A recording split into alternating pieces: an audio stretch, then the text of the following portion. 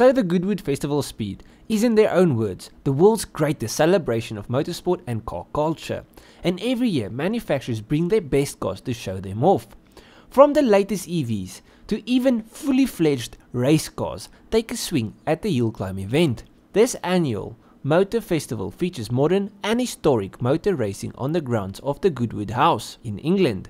The Festival of Speed is held late June or early July and is scheduled to avoid clashing with the Formula 1 season, enabling fans to see F1 machines as well as cars and motorbikes from motor racing history on the hill climb event. Now this hill climb stands across a 1890 meter track and climbs about 92 meters. Now like I said, you can find anything here from race cars to hypercars. I mean, just take a look at some of the cars that featured this year.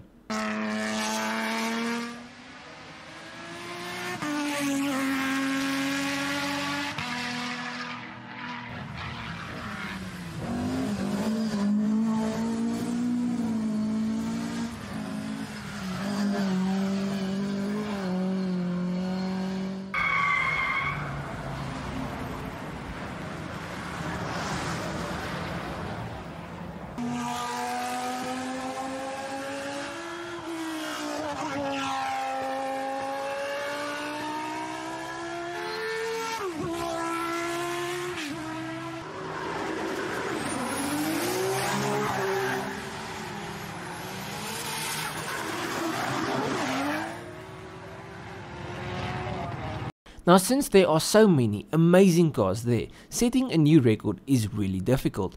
And that's exactly what this video is about. The track record has been broken by a British startup company called McMurtry with the EV fan car. But before we get into the record and how this car set such an amazing time, let me just quickly go through the top 5 just to show you exactly how impressive this time is.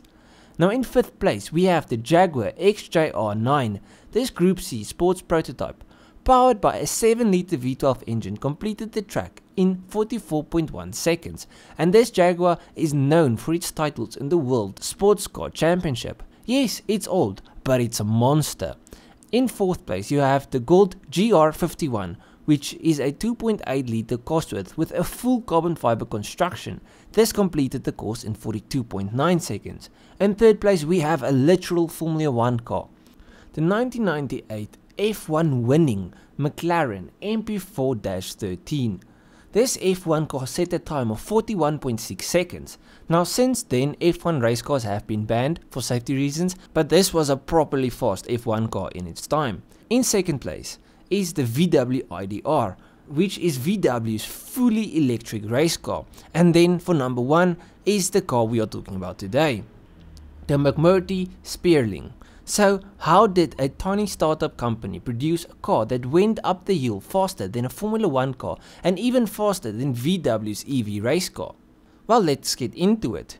So the Spéirling was first revealed at the 2021 Festival of Speed and two key factors helped it set such a quick time this year, its tiny size and the two fans that suck the McMurtry to the road.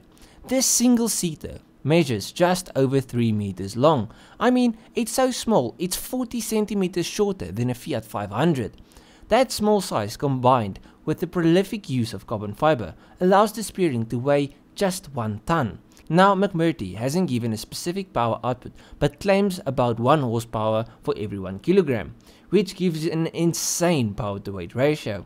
Now, the car is powered by two electric engines, one electric motor at each rear wheel. These two motors are fed by a 60 kWh battery. The U-shaped battery is integrated into the carbon fiber tub, and McMurtry says it permits between 30 and 60 minutes of flat-out driving. So, no endurance races will be won by this car. Anyways, like I said, its weight and power isn't the only reason for this car's success. A huge factor is the twin electric turbines sitting behind the cockpit. These two turbines work in a similar fashion to the fan on Gordon Murray's T50. The fans literally suck the car to the ground.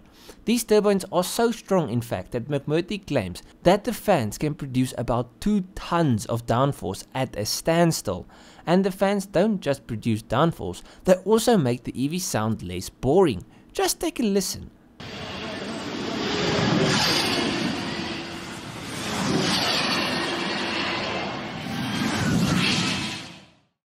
It sounds like a damn jet, pretty freaking cool. Now while the Spéirling is currently designed for track use only, McMurtry wants to homologate it for the road. Yes, they want to make a road going version of this insane race car. Now obviously on the road going version there will need to be a few changes. McMurtry say that the motors will remain the same and will be unchanged, but the aerodynamics will need to be toned down and then for the two turbines they will only be activated in track mode. Now if it were me I would drive this thing in track mode 24 7 Imagine the dust cloud this thing will kick up. Anyway, so how much will one of these cost you once they've been made for road use? Well, McMurtry didn't give an exact number, but they did state that it will be in a 7 figure range. So it's safe to assume, chances are you won't see one on the road. But let me know what you think of the McMurtry Spéirling.